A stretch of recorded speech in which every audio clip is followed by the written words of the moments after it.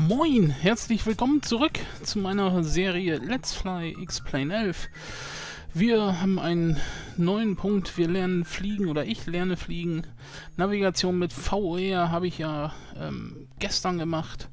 Heute ist ein ILS-Anflug fliegen, also das Instrumentenlandesystem eines Flugplatzes ist dafür geschaffen, um während der Landung sowohl für An den Anflugkurs als auch für den Sin Sinkflug entsprechende Führung zur Verfügung zu stellen. Wenn Sie eine Landung genauso durchführen wollen, wie es Piloten im echten Leben tun, dann ist das die Art, es zu tun. Ja, das klingt ja spannend.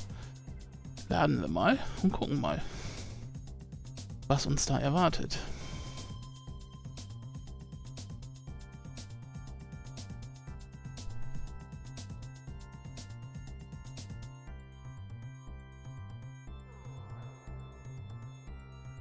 Dauert einen kleinen Moment und dann geht das auch schon los.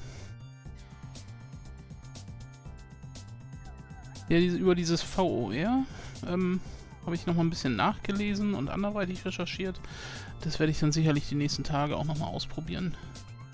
Ähm, ja, ob ich das richtig verstanden habe. Und ihr dürft dann natürlich dabei sein. Aber jetzt machen wir erstmal hier diesen ILS-Anflug. Mal gucken, wie das geht. Kann ich mir sowieso so schnell nicht merken. Das werde ich sicherlich noch öfter mal machen müssen. So. Wir befinden uns aktuell im Gegenanflug auf die Landebahn 34, also 3, 4 rechts in Seattle-Tacoma. Sie können die Landebahn auf ihrer linken Seite sehen. Ja, da unten ist eine. Mhm. Sehr bald wird uns die Flugverkehrskontrolle von Seattle-Tacoma kontrollieren und uns den Steuerkurs und die Flughöhe mitteilen, die wir für den Anflug fliegen müssen. Bis dahin fliegen wir einfach geradeaus weiter.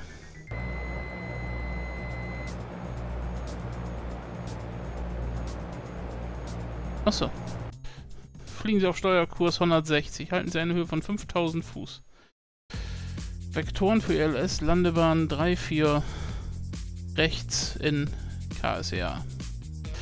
Also in Kilo, Sierra, Echo, Alpha. Ja. Äh, 5000 Fuß. Steuerkurs 160.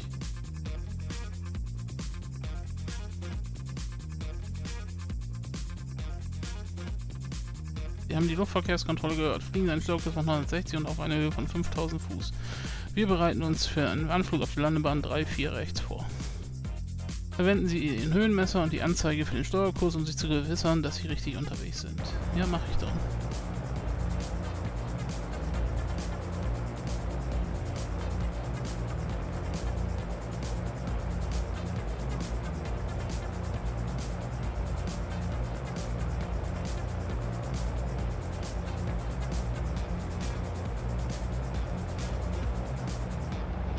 Grafikeinstellungen sind zu hoch. Kriege ich hier gerade eine Meldung?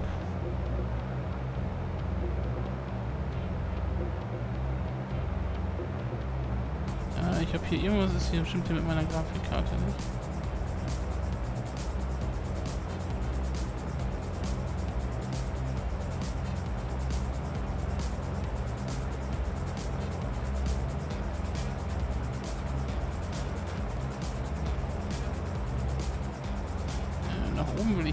Ja weiter runter auf 5000 Fuß.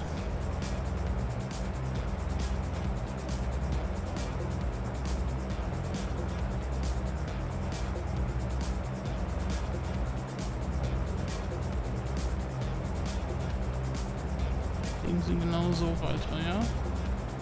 Probier mal.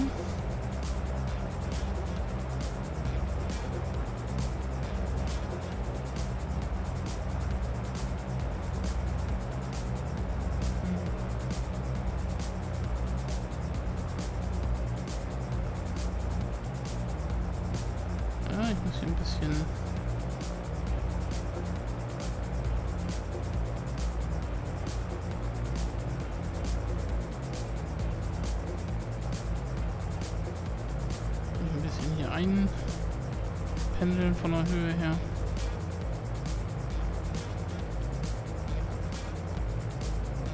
Ja, ich falle immer noch.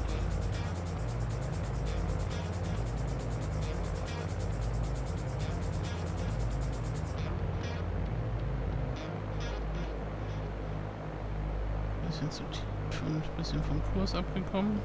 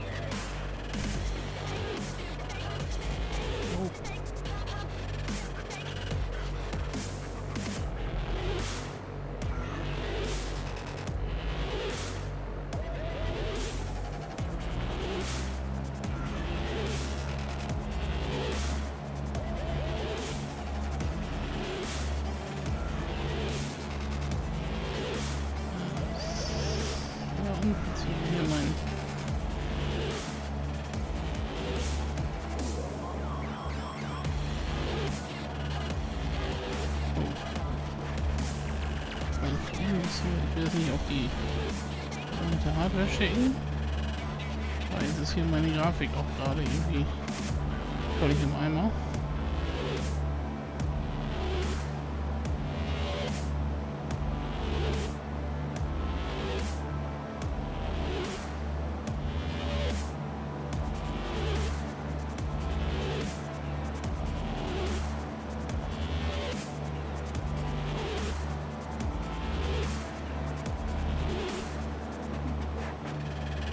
Kürze wird, wird uns die Flugverkehrskontrolle kontaktieren, bevor wir uns im rechten Winkel zur Landebahn ausrichten und uns damit in die Phase des Queranflugs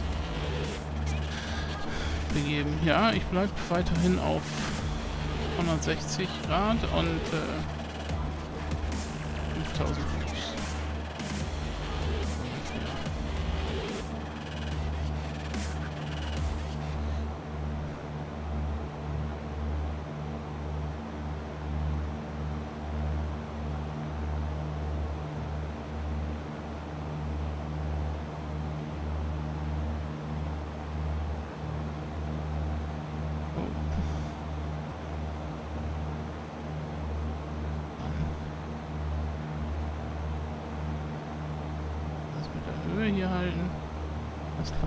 gut.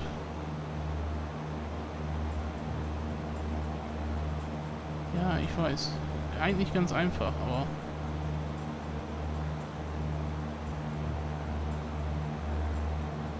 Versuche ja das Ganze so ein bisschen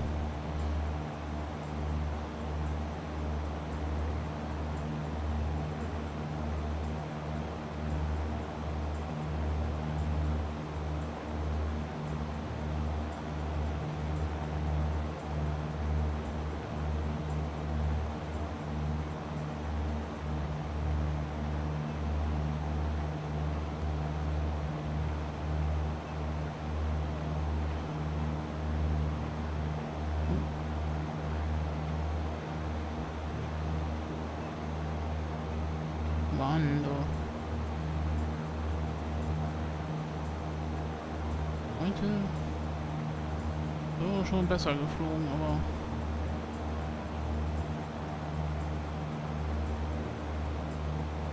drehen Sie auf links auf Steuerkurs 070, sinken Sie und halten Sie 3000 Fuß.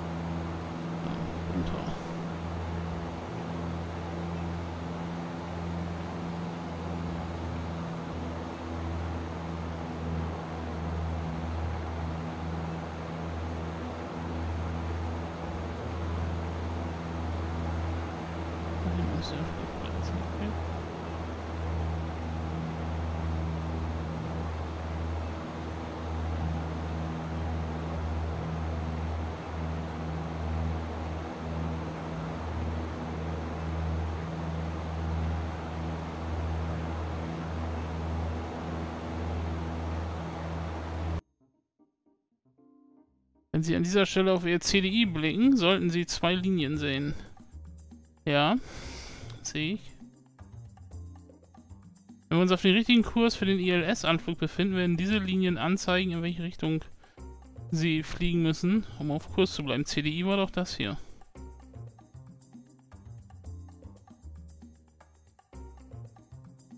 Oder? Die vertikale Nadel zeigt ihre laterale oder horizontale Abweichung vom Kurs des ILS an. Ähm, ebenso zeigt die horizontale Nadel ihre vertikale Rauf-Runter-Abweichung an. Wenn Sie Nasi aus Flugzeug in Richtung der Nadeln bewegen, werden Sie den eingestellten Kurs wieder aufnehmen können. So müssen Sie zum Beispiel nach rechts fliegen, wenn die Vertikale nach rechts versetzt ist. Oder nach oben fliegen, wenn sich die horizontale Nadel über der Linie für den Horizont befindet. Okay. Natürlich ist das momentan nicht relevant. Wir befinden uns im rechten Winkel zur Landebahn, was bedeutet, dass wir so lange dem ILS-Signal nicht folgen werden, bis uns die Luftverkehrskontrolle anweist, in Richtung der Landebahn zu drehen. Für den Moment fliegen wir einfach auf Steuerkurs 070 auf einer Höhe von 3000 Fuß. Ja. Jetzt hackt wieder meine Grafik.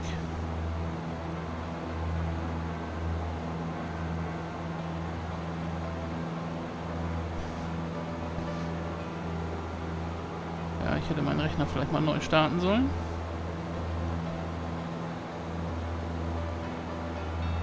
So, komisch, auf einmal ist es dann weg.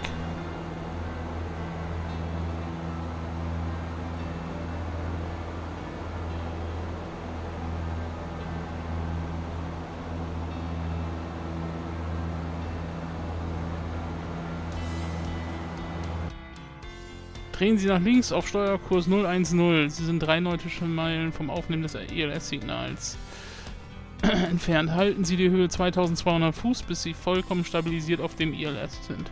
Freigabe für ILS auf 3-4 rechts.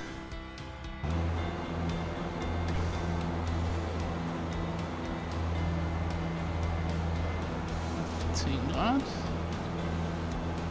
2200 Fuß, richtig? Beobachten Sie die Anzeige für die Kursabweichung. Wenn Sie sich die vertikale Nadel in der in Richtung Mitte bewegen beginnen, wissen Sie, dass Sie schon fast mit der Landebahn ausgerichtet sind und sich daher rasch in Richtung des Steuerkurses der Landebahn bewegen müssen. 340 Grad. Okay. Wenn sich das CDI in der Mitte befindet, befinden Sie sich genau auf dem ILS-Signal. Fliegen Sie einfach in die Richtung weiter, in die die Nadeln zeigen und Sie werden einen perfekten Anflug auf die Landebahn hinlegen. Denken Sie daran, dass sich die Landebahn Richtung Steuerkurs 340 auf einer Höhe von 433 Fuß befindet. Genau das wird im Moment des Landens Ihr Steuerkurs und Ihre Höhe sein. Ja, toll. Danke. Ja. Ey. Ey,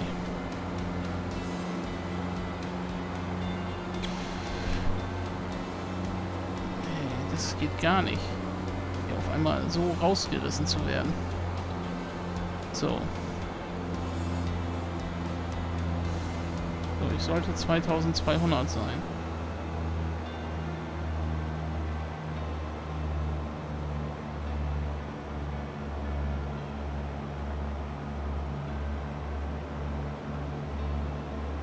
Achso, ich soll ja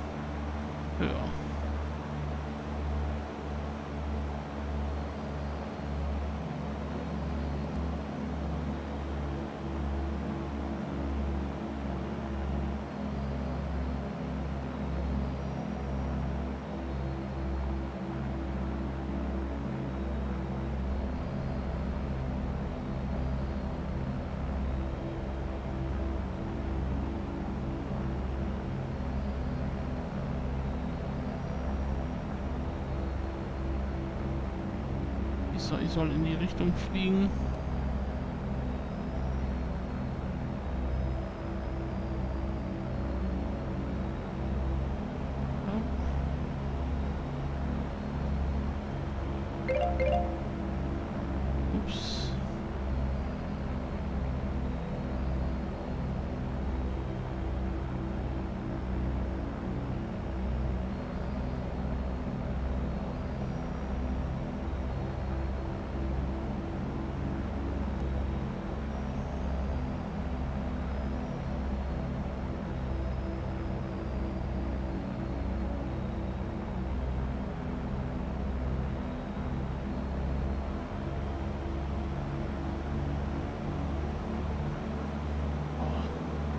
Ist das ein holpriger Anflug.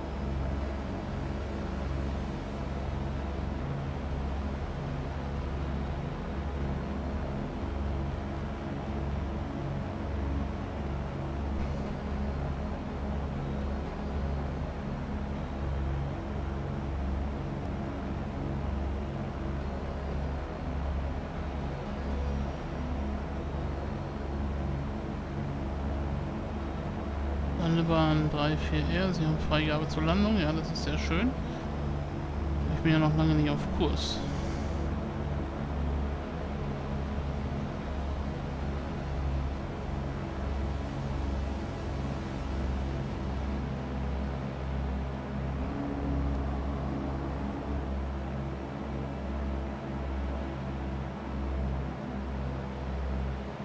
Äh, natürlich recht, ne?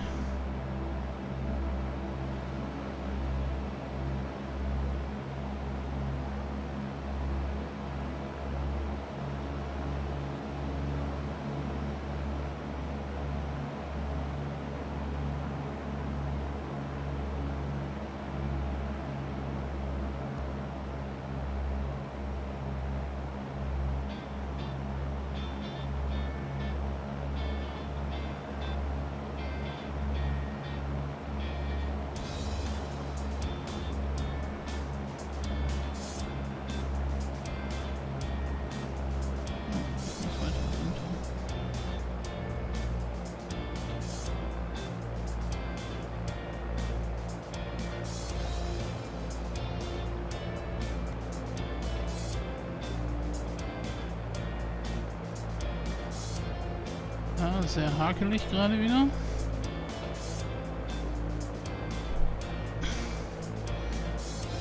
den Kurs, den machen wir doch gleich nochmal danach. Ich bin jetzt eigentlich genau auf Kurs. Bin nur ein bisschen zu hoch.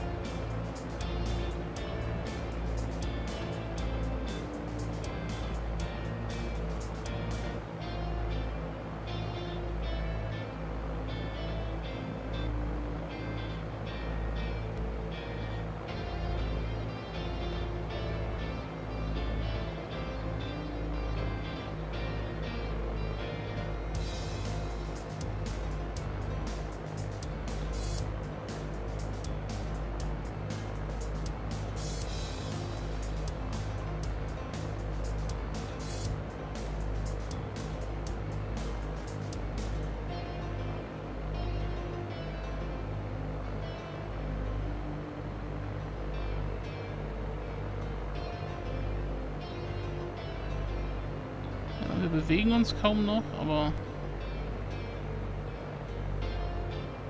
Aber ich bin eigentlich fast genau auf Kurs. Also.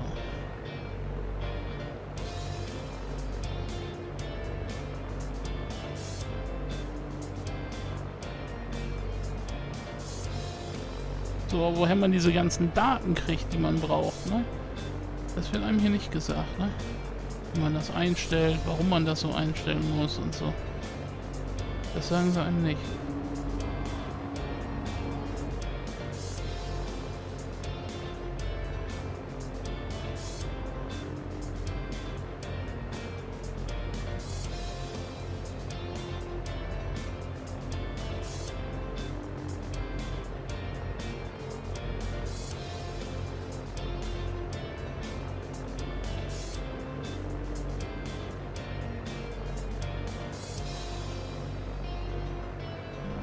wieder ein bisschen schwammig, weil ich so langsam bin.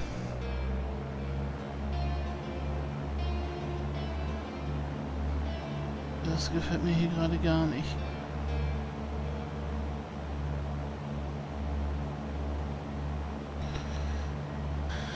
So, ein Stück weiter rüber. Oh, Mann. Ne, dann nehme ich doch die Landeklappen noch wieder ein Stück rein. Das ist mir, ist mir nix.